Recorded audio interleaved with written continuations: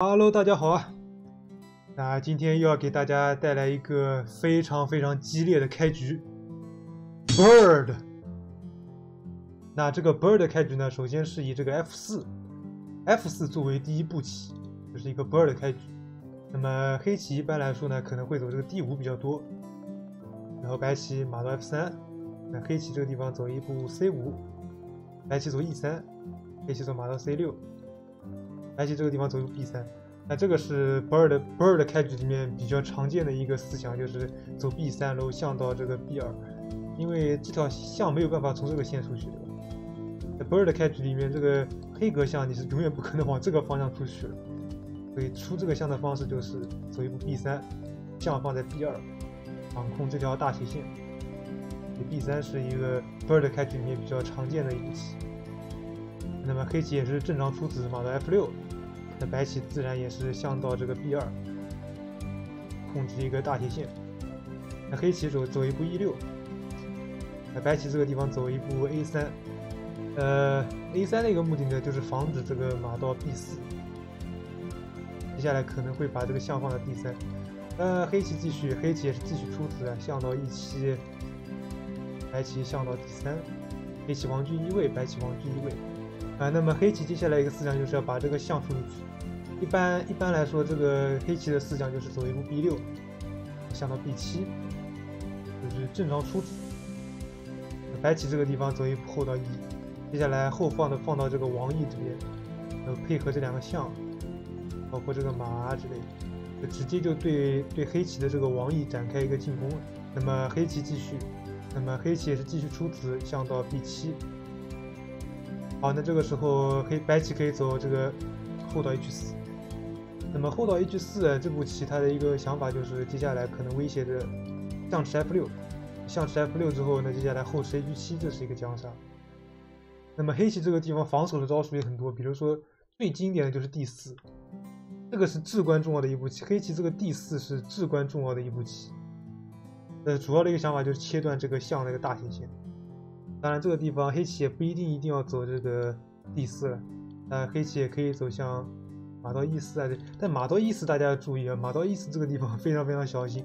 那之前如果白棋他不走后 H 四，而走一步后到 G 三，那这个地方黑棋要非常非常非常小心。我反正我本人在下快棋的时候遇到过无数的这种初学者，他会走一步这个马到 E 四。那看起来非常非常自然的一步棋啊，但事实上这个后吃 G 七，这是一步杀。这个是要，就这个地方非常非常小心这个这样一个陷阱。对，快棋的时候遇到非常非常多人。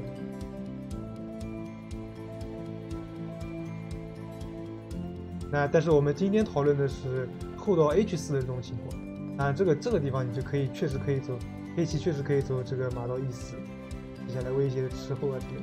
当然了，黑棋这个地方还能走很多，比如说，为了防止这样一个将杀的话，它可以走，比如说 H 六或者走 G 六。但是 H 六的话稍微小心一点。H 六的话，接下来白棋可能会走 G 四 G 五。对，接下来 G 四 G 五直接就是对你这个王翼开展开进攻。当然，今天我们要看的这个主线，主线是这个黑棋走这个 G 六的情况。那黑棋走一步 G 六之后，白棋可以怎么走？那么黑棋走 G 六之后呢，这白棋可以继续走这个马到 G 五，马到 G 五呢，接下来仍然威胁着这个象吃 F 六，然后接下来后吃这个 H 七，呃，那么在这个局面之下呢，黑棋它其实能够防守的招数已经越来越少了，但是最关键的还是我刚才说的，最关键的就是这个 D 四，黑棋在不管什么情况下都尽可能要走这个 D 四，就是一定要切断它这个大斜线，非常非常重要这步棋 D 四。当然，如果这个地方不走 D 四的话，他可以走一步，他其实也没有别的别的太多选择。那么接下来白棋这个威胁非常非常迅速，他可能只能走一步像 H 五。但是黑棋走 H 五之后，白棋可以走一步 G 四。好，那么其实啊，其实这个对局进行到这里呢，那黑棋他已经没有别的，别没有别的太多的办法，他只能走这个 D 四或者走 E。黑棋在这个局面之下，如果想存活下来的话，必须要走这两步棋。他没有别的任何防守的手段。如果如果这个局面之下黑棋不走这个 D 四，不走 E 五的话，那很快就会被搞死。所以我们接下来就看一下，我们接下来分析一下，如果黑棋不走这两步棋是如何被白棋搞死的呢？比如说我们先考虑这个，呃，比如说我们先考虑什么呢？先考虑不闲棋吧。假设随便走一步车到 C 八，那么接下来白棋可以怎么走？白棋非常迅速可以走 G 吃 H 五，G 吃 H 五之后，白棋其实这个局面白棋已经赢了。因为首先如果首先如果马吃 H，马吃 H 五会怎么样？大家看，如果如果对方走马吃 H 五，白棋这个地方可以走什么？那么大家可以暂停一下视频，思考一下白棋这个地方该如何去将杀对方。好，那我希望大家能够找到这步棋，后吃 H 五。非常巧妙，后吃 H 五，首先它威胁的什么？首先威胁的后到 H 七将将杀，也威胁的后到 H 八也是个将杀，关键的大斜线非常厉害。那如果说黑棋走 G 吃 H 五，那接下来白棋可以走象到 H 七，这是一步杀。那这就是一个非常非常典型的叫做 Blackburn 的一个将杀法，Blackburn，布莱克本将杀法。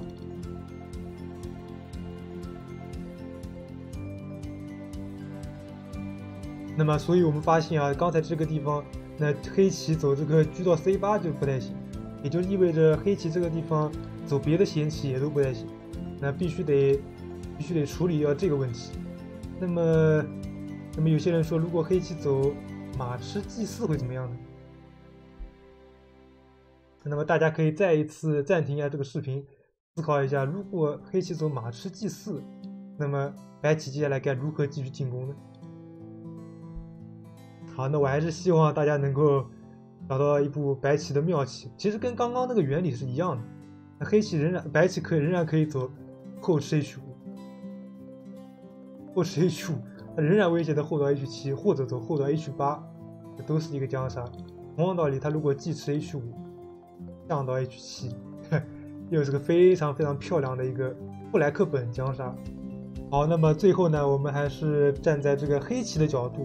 从黑棋的角度出发来看一下，回看一下这个白棋的这个 bird 开局，F 四开局，我们看到，对这个地方，后到 H 四，后到 H 四之后是白棋率先发起了这个进攻。那在这样一个局面之下，黑棋非常非常非常重要的一步棋，D 四，D 四非常非常重要的一步棋。为了切断它这个大斜线，非常非常重要的一步，至关重要的一步棋。啊，如果这个地方不走 D 四，走随便走一，比如 G 六，还是那句话，D 四，你永远可以走 D 四，只要有时间，一定要走 D 四，切断这个象。它这个其实 H 七它并不是个威胁，反倒是如果你不走 D 四，你不走 D 四的话，这这确实是一个威胁。所以有机会的情况下，一定要走 D 四。那么，比如说黑棋又走了一步 H 五，哦，那这个地方那是必须得走，必须得走 D 四，你不用去管着这个，这看起来很恐怖，对吧？这看起来好像挺恐怖，但是啊，你根本不要去管这个，就走一步 D 四，而且 D 四 E 五这是唯一的这个局面之下唯一能够存活的方式。那这个时候如果再不走这个 D 四或者走 E 五，那接下来黑棋就会死无葬身之地，那接下来一切都为时已晚。你没有任何办法去阻挡江杀，这已经是一个强制性的江杀。那黑棋已经没有任何办法。所以啊，其实其实啊，其实这个开局对白棋来说，它并不见得是一个白棋最优的一个开局。因为这个其实这个开局白棋有很多问题，比如说这个马，它马的这个出子的时候就是一个很严重的问题。那么白棋这个开局主要的一个思想就是利用这个马，马到 F 三，马到 G 五。然后到 E 一，后到 H 四，完了再利用这个 B 二和这个 D 三的一个双向，然后直接就是对他这个王翼发动一个快攻。那么这个开局呢，其实黑黑棋就是一定要防守的比较正确。